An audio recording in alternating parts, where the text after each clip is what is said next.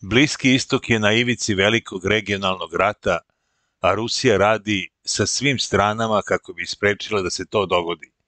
Izjavio je ministar spoljnih poslova Rusije Sergej Lavrov, govoreći na sastanku Saveta za saradnju Rusije i zemalja zaliva.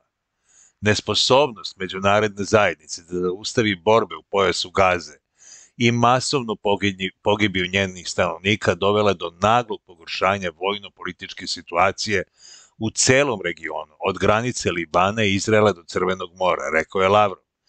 Kako je naglasio, sukob je dostigao novi opasan nivo, čime je Bliski istok ponovo na ivici velikog regionalnog rata. Radimo na normalizaciji situacije sa svim partijama, ukazuje šef ruske diplomatije, navodeći da bez rešavanja palestinsko-izraelskog problema Bliski istok neće moći da se stabilno razvija. Lavrov, koji je dan ranije stigao u Rijad, već se sastao sa generalnim sekretarom Jasemom, kao i sa ministrom spoljnih poslova Saudije Arabe Faisalom bin Farhanom, na marginama događaja predvođeni su bilateralni sastanci, a očekuje se da će sa svojim sagovornicima Lavrov razmotriti širok spektar pitanja na regionalnoj i međunarodnoj agendi, uključujući jačanje bezbednosti oblasti Persijskog zaliva, rešavanje kriza i koordinaciju na tržištu ugljovodanika. Pritisnite subscribe ili prati.